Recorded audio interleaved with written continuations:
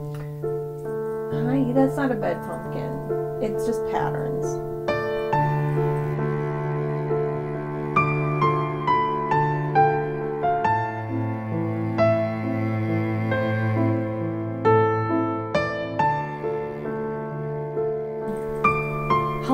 And welcome back to the Plies and Hellhounds channel. I'm your human host, Gabby. You can find me everywhere online as Gabby Gales, and on my hand-dyed yarn at Plies and Hellhounds and pliesandhellhounds.com.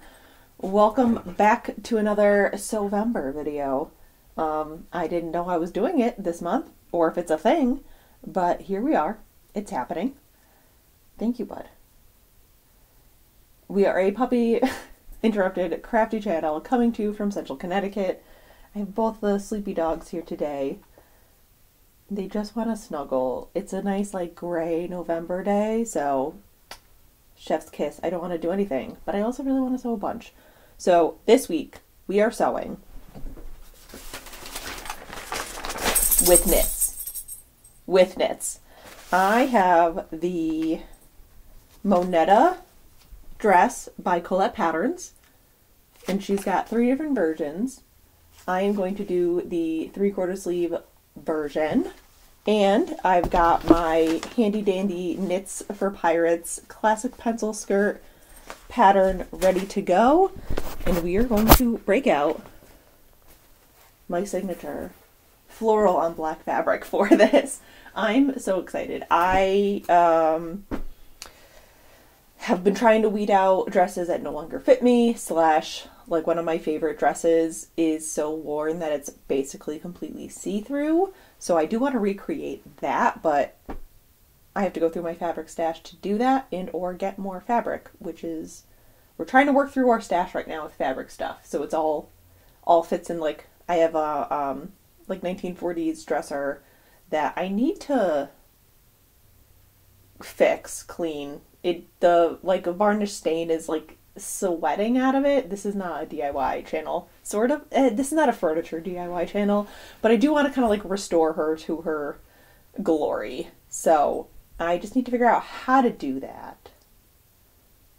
But she holds all my fabric. Long story short, she holds all my fabric, and I do have a couple pieces hang up in the closet. So I just want to like get my stash down so that she fits in there, and like that's my fabric mm-hmm. stash capacities. So yeah, this is our fabric. I've made a t-shirt out of this, which I also have to fix today because I was playing around with the serger and it just did, the threads didn't catch all the way or something. So I'm just going to reserge the sides on that. And yeah, here we are. Uh, this is the plan. It is 11 o'clock in the morning. I have to go out and get some supplies. I am very low on black thread. I think I need a new twin needle because I don't know where mine is but I also need thread for it, so I figure if I have to go out and get thread. And I have to get clear elastic. I think I could get away with like the black elastic that I have, but my record with sewing lately, I'm not here to tempt fate this time. This time. So yeah, that's the plan. Let's have another sewing day. Let's go. All right, step one of sewing is picking your sizes. So I have a 31 inch bust and a like 33 inch waist. So I'm doing the extra small bust and then bringing the waist bar part up to the large.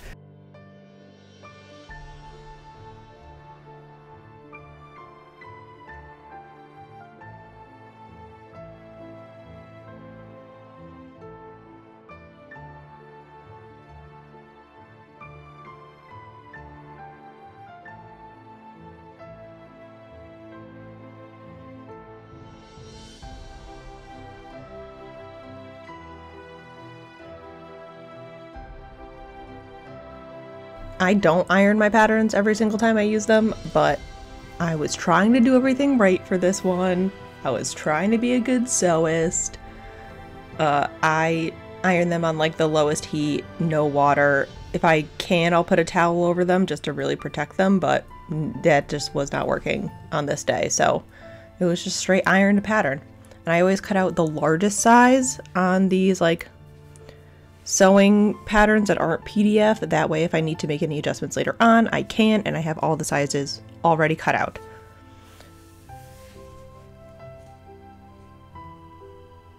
So to make sure that I have the correct size, I will, I have this like architect tracing paper that I use and you can pretty much see through it. So I will trace out the pattern and use a French curve to kind of connect bringing the extra small bust out to the large waist. That way it's a continuous line and it kind of mimics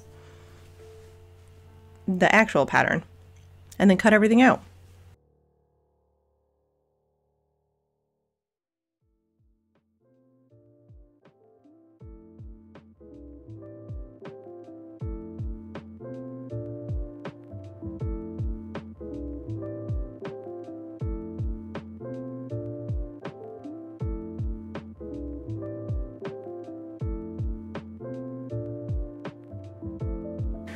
Hello, we're back. It is 2.30.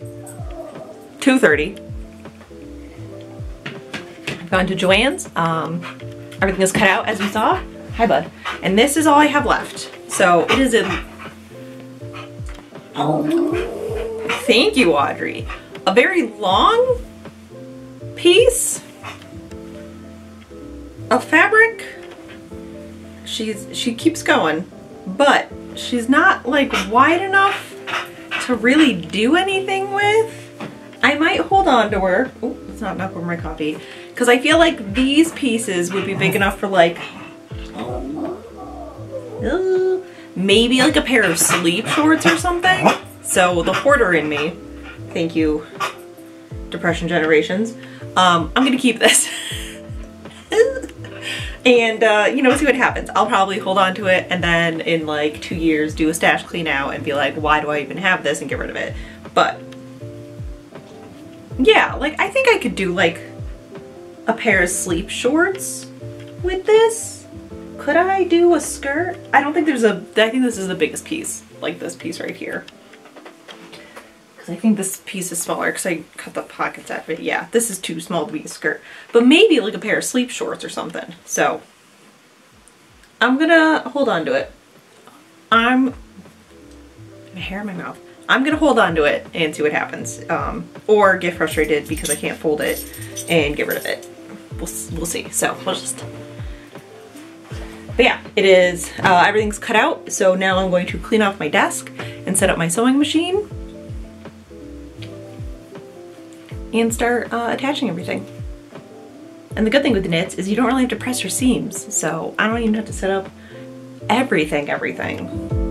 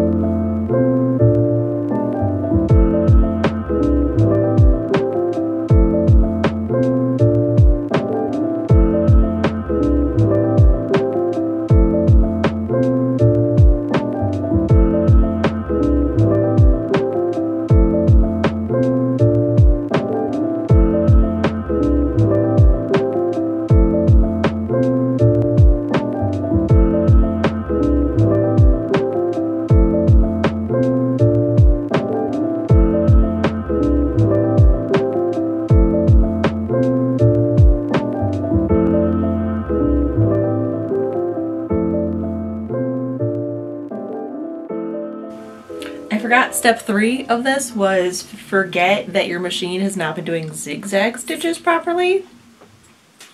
So here we are. I'm to do some troubleshooting. I'm to set a timer for like a half hour and see what I can figure out. Um, and go from there. Yeah, Audrey. Maybe we just serge it. I don't know. I'm not like proficient enough in my serger to like do a whole garment. Like I'm still not very good at the tensioning and stuff. So we'll see what happens. Yeah, but so we're gonna try this. Oh, wish me luck.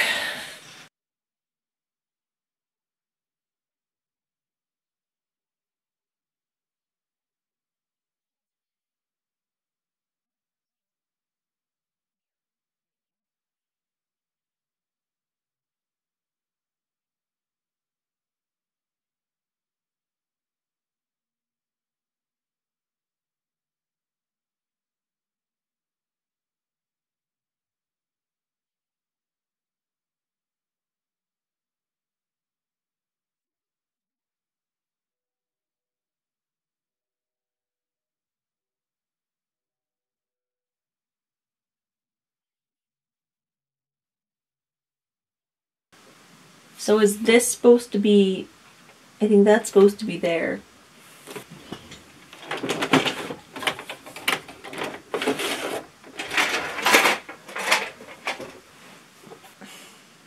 There's, this just access, I don't know if I can access the timing belt. I don't know. I would assume it's in here. I can do this on a car. I can't do this on a sewing machine apparently. Okay.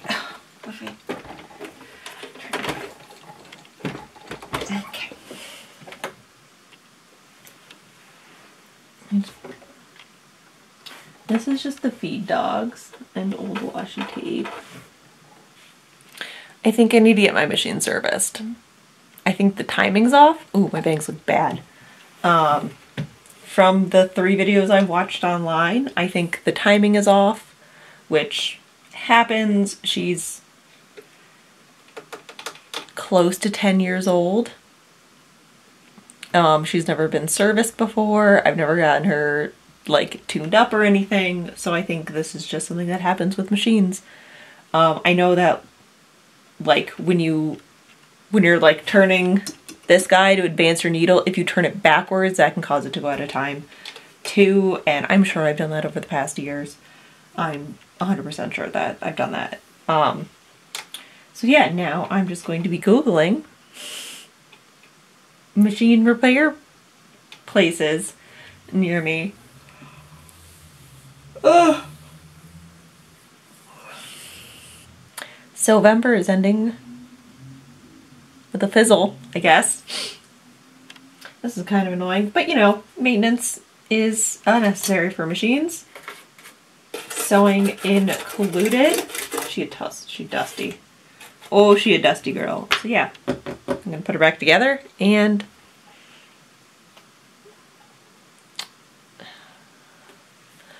have a very short video, I guess. That's frustrating.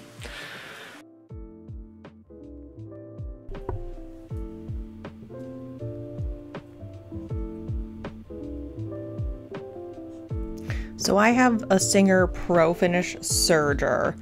This is the most I've ever done on it. I usually just use it to finish edges. I've never really used it to like sew things together before. So this was a big old learning curve and um, a big old practice on how to control the speed of a serger because I feel like once you step on the pedal, it just goes as fast as it wants and it's a little bit terrifying. So this was a real big practice of controlling the fabric and controlling the speed of everything, but it worked. So we sewed the shoulder seams together, we sewed the um, sleeves into the armholes, and then we serged up the side seams and down the arms and connected it.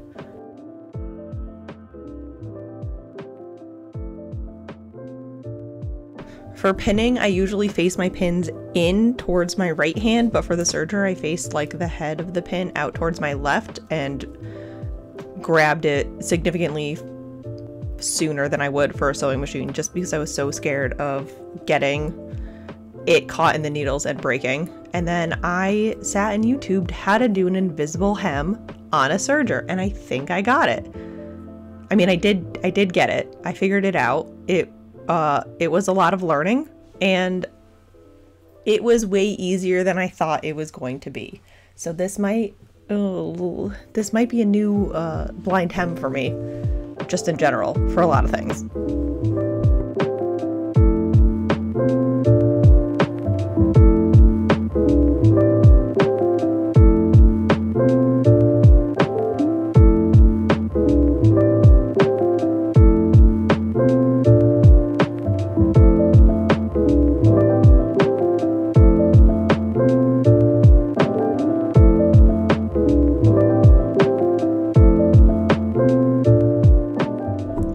Those curious, I am only using two threads on the serger. I only have two cones of black thread.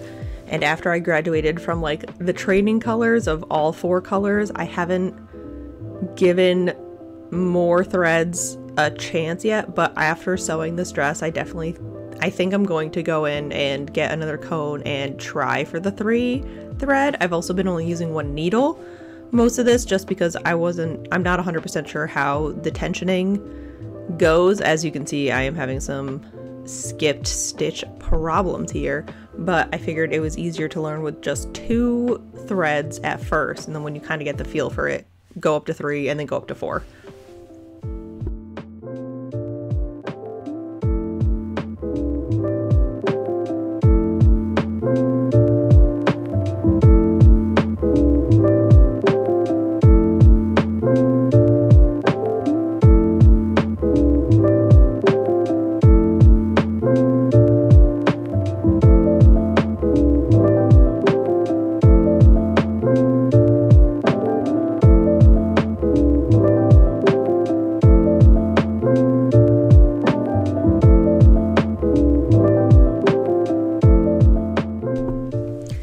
Attaching the pockets to the skirt. She does have pockets and they are in the pattern.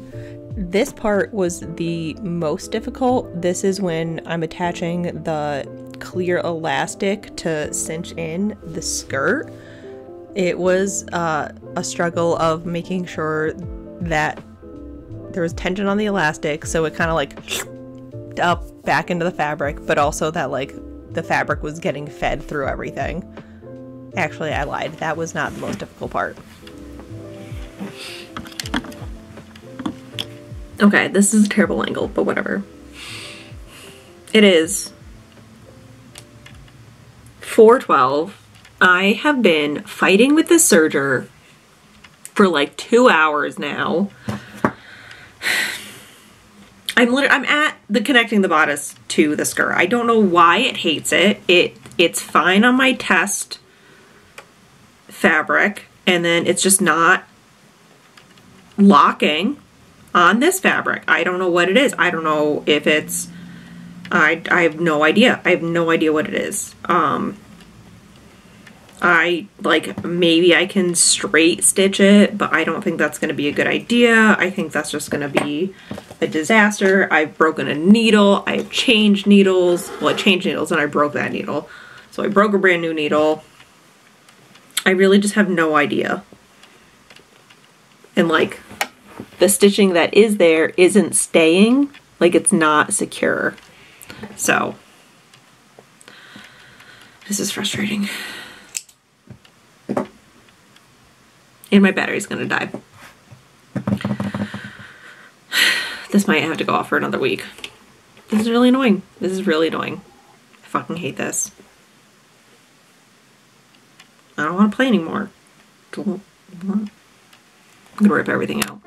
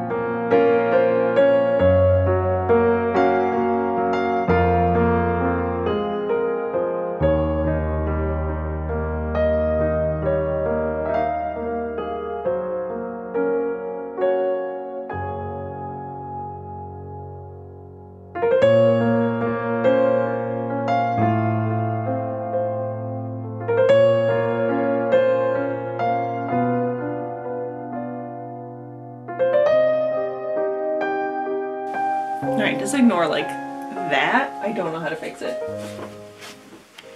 She's done. She did it. Um, she's completely serger made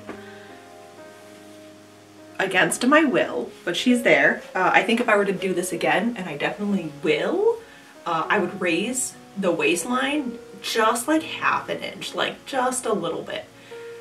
She does sit like at my natural waist now, but I think just like that little, little bit more would be amazing.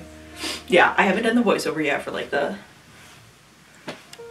sewing part, so I, I'm not sure what I've talked about yet. We'll see. But yeah, 100% would sew this again. I'm gonna wear her all day, see how she goes. I don't know if I have any more knit fabric to make another one, like right off the bat, but it feels good to have another floral on black back in the wardrobe. So, so yeah, this is, we're just gonna, this is the end of Sewvember um, until I can get my machine serviced. I really hope she can be. I really hope. So yeah, we're gonna start saving up for that, get her tuned up, get her retimed, and um, yeah, I do have sewing plans for next year, and I will go about those in another video, I think. I need to like collect all my brain thoughts. So here we are, the end of November. We got three sewn objects two of which I wear all the time, one of which I'm still, I, I, I try and wear, I just can't do the neckline, so I'm gonna go back and readjust the neckline eventually. I just need a little bit of a break, I think. Thank you so much for coming on the sewing journey with me. If you like this video and want to stick around, feel free to subscribe. We put out videos most Saturdays. I am currently doing Vlogmas, so I am vlogging 25 to 30 days in December, TBD. We'll see how we feel after 25 days. And uh, yeah, thank you so much for watching. Goodbye.